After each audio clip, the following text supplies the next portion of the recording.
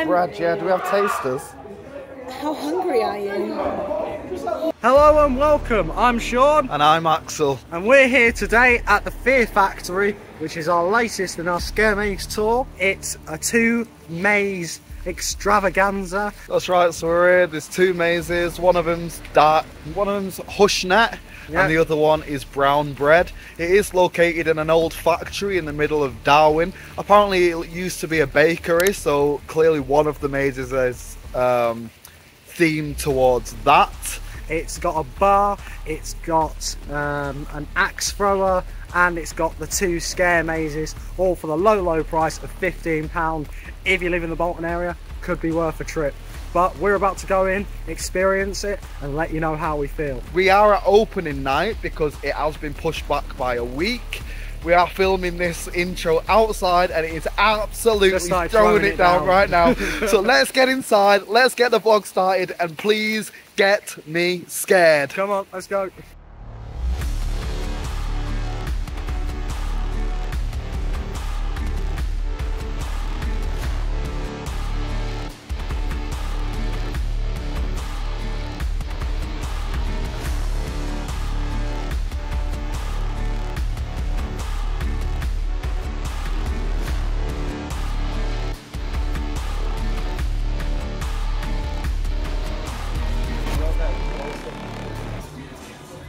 Okay, so we are here and we are in the event. We've been here for an hour and a half. So, so we'll give you a bit of a heads up. The first time we came here was a week ago to the day. Uh, we made the drive down all the way to Darwen and we came to the place, or what we thought was the place, and we could not find where we entered. So we decided to give them a call, and they told us that unfortunately, due to circumstances out of their control, the fire brigade man had been in, um, and they had to do some minor adjustments to make fire the marshal. the fire marshal had been in, and they had to do some minor adjustments to make the event safe for people which of course is completely fine because they offered to reschedule our tickets and give us a free drinks voucher for the next time that we are here. Glad they accept, we understand that events experience these issues, productions experience these issues, and some things are bound to happen. So, a week later, it is now the 7th of October and we are here on opening night. We arrived at 7 pm. We came in, we got our free drink. Rushed, rushed here. Yeah, we rushed here, we got our free drink, we had our free drink. Uh, we seen that the mazes weren't letting people in yet, so what we decided to do was go away, have some food, and come back. It is now 8:30 p.m. We've come up. There is a few more people in the bar, as you can see. There's about 30 people max in this place right now. That being said, we said, well, where do we go to the mazes? And Not open yet. Not open yet. And the thing is, yeah, I will put aside that it's a second year event. They have issues, and that's completely fine. And I'm sure the mazes will be great. I'm sure the mazes will be great. They've had an extra week to prepare at least. But with that being said, it is a week overdue. The event has been letting people in for an hour and a half, and I'm still not allowed to enter a maze. Have another drink if you want. I'm driving, I can't. You know, Yeah, but have a warm cocktail with some bears in. I'm gonna have another drink. Is this is this just a way for them to earn money? I don't know. I don't know. We don't want to be negative. We're not negative people. No, Very no. positive. No, constructive criticism, hundred percent. But we're not negative. We're like, we just have opinions on things, you know what I mean? We see the good and bad and we like to see, say how things are good. And I am all for giving this place all the chances it deserves. It's a nice uh, venue, really nice venue. Oh, We've got an axe thrower when you come in, that's pretty cool. Um, you know, the drinks are pretty well themed, pretty funky. The mazes have good Open themes. Open Well, we hope they do. Well, we've We read about them. We've read about them. We could go in there, just be two guys holding some, like, you know, matchsticks up. I don't know. How many actors do they have in the mazes? because right now we've been waiting for two hours and people are getting very impatient. So if I was, you know, one of the managers or leaders of this event, 100% I'll be sending three or four actors out here to interact with the people in this room. Yeah, Would you not? 100%. 100% get some scare actors into this event. You know, entertain us. It's all mad. Nine o'clock, man. Let's say amazing start about nine o'clock. I wouldn't have shown up at seven. They said that the mazes are going to open very soon. Um, they said that one of them is 20 minutes long and the other one is about 10 or 15 minutes. So a 20 minute maze, I'm all up for that. That sounds amazing. And again, for the other one, 10 or 15 minutes, that's a very good length for a maze. Considering the event tonight was £15 and you get two mazes, well, they expect them to be about 5 or 10 minutes each, but a 20 minute one, I am very, very intrigued. If that is scary, that is going to seem like a nightmare that is never ending. So bring it on. We've now been told to go downstairs. I've just come out of that door. I'm waiting for Sean. I'm gonna go into there.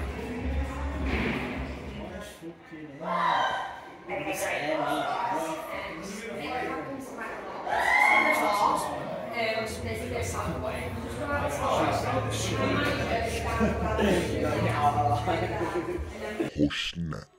Step into Mr. Bloom's haunted house. A house hiding the dark web of debauchery, torture, and blood curdling massacres.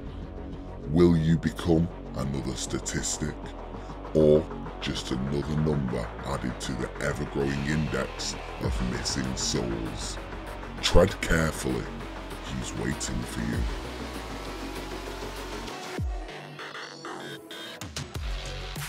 Local rumours are circling that Mr. Bloom is luring people into his haunted house to feed his sick website. A site hidden deep in the digital realms of the dark web.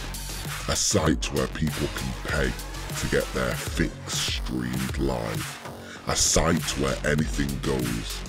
A site where silence is golden. So just a quick review on the first maze, which was Hush Net.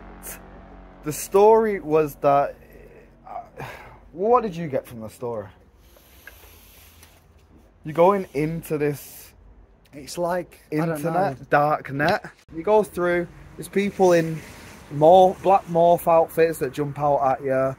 Um, That was really cool actually, because what they did was they would hide in specific places, and like they'd be able to go between walls because there'd be like like panels that you could mm-hmm. push through, and they'd pop up and they'd scare you more than once. That was really, this is what I mean. There was really good ideas in there.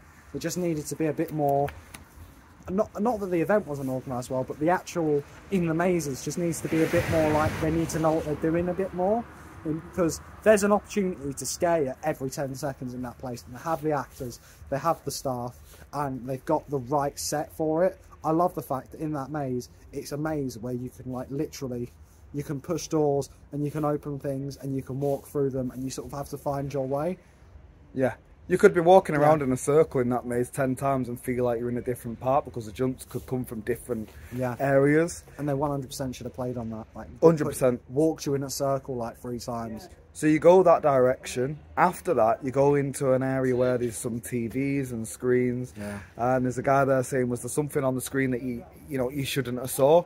I feel like that is when you meet the protagonist of the story in that he is the controller of this website on the dark web that you are journeying through. Yeah. And there's something on the screen that you shouldn't have saw, which may have been the bit that we just walked through. Um, and then he says, right, you can't stay here, you need to go. after that they just took us through like some like it was like a horror thing like i think we were in the dark net i guess and like there was you know i'm not too hung up on the story so long as there's good scares and there were some decent scares in that second bit the guy with the chainsaw the murderer with the pig mask like that wasn't like i wasn't like jump scared. I was like, all right, let's get out of here. It was like being in a horror film. I think there was a lot of op- missed opportunities. The actors did great for what they had. Um, the story was a good platform, Yeah. but it definitely could have done with more. Yeah. Uh, and it was it was over too soon. Yeah, the actors were great. Um, the I thought the set was actually really good. Yeah. The set was really good. I just think, like you know, those are two really strong positives, a really good starting point. And this is their opening weekend, so they have got time to rehearse it and get it better and better and better. So it probably will be much better come come Halloween time. Oh yeah. oh Um, yeah. It is only opening night. But yeah, the only criticism I have of that first maze is it could it, it easily could have been dragged out a bit more. They, I don't want to say they rushed you through it. I felt like we, but but I I, I think we could have been teased in there a bit more. We could have been shown Oh, yeah. around in circles. We could have been. It it just.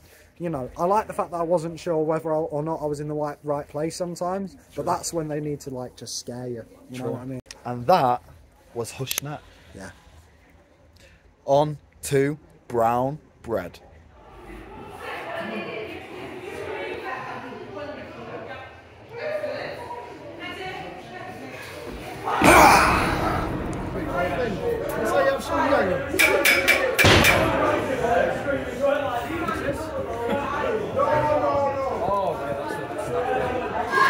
We're currently waiting to go into the second maze known as Brown Bread. It's advertised as just a normal tour of the bread, bread factory.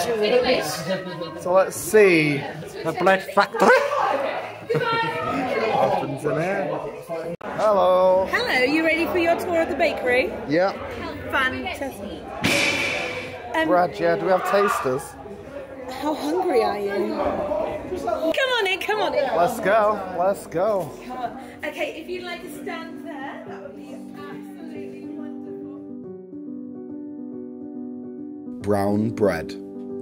Industry leading bakers, Brown Bread Co., reluctantly open their doors again to the public. Take a full tour of the town's most notorious secretive bakehouse. What lies behind those bolted doors? And why does the chimney smoke turn pitch black after midnight? The burning smell that fills the air is putrid. What are they hiding? Dare to find out. Hello, and we are going to now review Brown Bread, which is the second maze that we went on tonight. I don't know if that's the first or the second maze, but that's the order we went in, so that's maze number two for us. And Brown Bread was actually um, a very unique experience in the sense that I've not been in many scare mazes where they actually put a bag over your head for the entire thing and use it as a chance to. Um, I assume there may have been two there may have been a few more actors in there, but I'm assuming that it was just the two actors that were basically scaring us four who were in there. Yes. And it was really, really well done because it was creepy. You could sort of see through the mask a little bit, you could sort of see through the bag, but like you could only see outlines and then they'd move and you wouldn't know where they were. So that sort of added to the terror. Um, it was more scary than the first maze. Again, it could have been scarier, there could have been more, but overall it was a really strong maze and i can imagine as it gets closer to halloween it's probably going to become an even stronger maze You go into the maze and you're greeted by a woman who says, you know, my grandma works here, my mum works here, my brother works here, my cousin works here. This is our bakery and we're going to give you a tour around the bakery. But you cannot be giving away any of our secrets. So what you have to do is put this bag over your head Yeah. and all you will do is smell and hear the sights and sounds of our fabulous bakery. So you put this bag on your head, and I think that is fantastic because, especially if you haven't got a lot of set or uh, you know other things going on, then I think that it's great to really um, reduce your senses, really play on that, taking the sensory senses away, um, and you know when you when you can't see clearly what is happening around you, it puts your your sensory levels up a little bit, Yeah, and it heightens your fear. Yeah, so I think depraving you of one of your senses is great. 100%. Um, and I think that that maze was the, the better one of the two because of that fact, to be honest. And I'm not really keen on putting a bag over my head a lot of the time. yeah. Going through the maze was great because when you've got the bag on your head, the floor in certain sections is squishy. Um, so you know, you I'm walking on the bread. There's I'm wet patches. on, uh, you know, dead bodies. Yeah, Then there's feels wet like patches. They, they touch your hands. It feels like they're licking your hands at one point. I didn't know what was going on there, Wiping your nose on it. which is great because it's a sense of mystery. yeah. Yeah. And it is freaky. Like, you do laugh, like, but it is, it is freaky. Like, you're like, what is going on? Oh, yeah. You know what I mean? And then you get to about the halfway point, and she gets you out of there, and she rips the bag off your head. Well, it's, it's towards the end. Mm-hmm. She rips the bag off your head and says, "Right, that's it. You know, Get I'm out." done with you. One of you is a traitor, and one of you has seen the secret. You need to get out. This is what we do with people that have seen the secret. You go into the oven." Yeah. And that bit was my favourite bit of the whole event because you had to climb into a box. It wasn't on the floor, it wasn't up high, but you had to step into it, yeah? And crawl. Into a box. And once you stepped into it, there's a small crawl space that you're like on your feet, but still making your way through like an army crawl through. Yeah, yeah, yeah. Um, and that was great because again, it's playing on that claustrophobia, just as they did with the bag on your head. It's playing on that claustrophobia. It's it's it, it's bringing it in so tight. You're struggling to move. You don't normally move like that on a day-to-day basis, and you're thinking, "What the hell is happening? What am I going into? What is this oven?" But then that's the exit. yeah. Nothing happens after And that. that is where my problem comes. In that, I enter the oven for the punishment of finding their secret. But at the end of that oven is the exit to the maze. Yeah. And for me, personally, once I've gone into the oven, even if it's one big scare at the end, that is what it should be. The finale. The finale moment. I don't know if it's going to be one big scare or if it should be a little bit more of a maze, but there definitely should be something at the end of going into the oven. Otherwise, what's the point of going into the oven? Where's the payoff? 100%. I just feel underwhelmed because I, was sitting in there for two hours and they were saying that you know they've not set up.